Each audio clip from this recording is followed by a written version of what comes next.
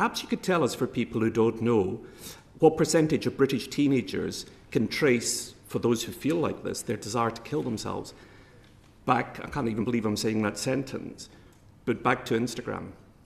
Um, I don't remember the exact statistic. I think it was around 12%. It's, yeah, it's, it's 13? Or, It's, ex- it's, it's exactly that. Yeah. And, and body image is also made much worse, isn't it? Uh, And why should that be for people who don't understand that? Hmm. Why should it be that being on Instagram makes you feel bad about the way your body looks?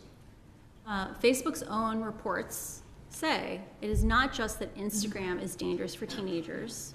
It is actually more dangerous than other forms of social media because Why? TikTok is about doing fun activities with your friends. It's about performance. Snapchat is about faces and like augmented reality. Um, Reddit is at least vaguely about ideas, um, but Instagram is about social comparison and about bodies, right? It is about like people's lifestyles, and that's what ends up being worse for kids. There's also an effect, which is um, a number of things are different about a life mediated by Instagram than what high school used to be like.